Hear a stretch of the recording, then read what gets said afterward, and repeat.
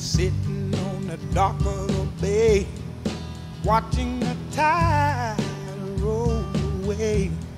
I'm sitting on the dock of the bay, wasting time.